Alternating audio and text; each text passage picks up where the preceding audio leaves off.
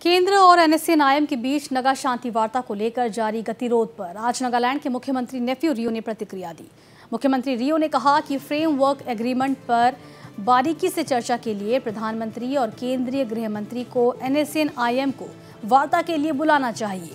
रियो ने कहा कि पिछले 16 जुलाई को नगा शांति वार्ता मुद्दे पर गठित संसदीय समिति में इस मसले पर प्रस्ताव लिया गया था।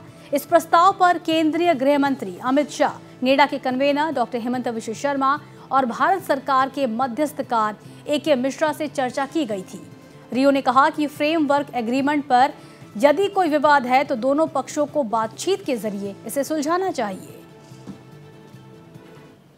With that, we had discussed with Amit Shah, the Home Minister, and uh, Himanta also, and the interculator.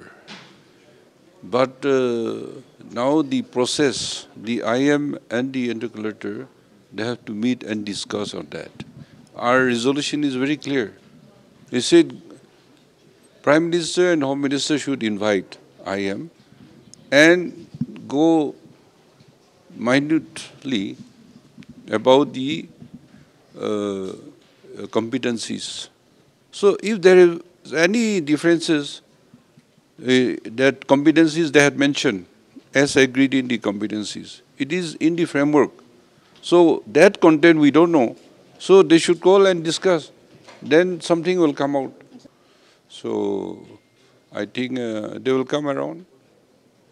They were uh, they were asking for joint statement uh, with the interlocutor, but uh, since framework agreement is very much alive, and there is nothing more statement to be given on that. That is what uh, I am informed uh, by the interlocutor. So the discussion is on.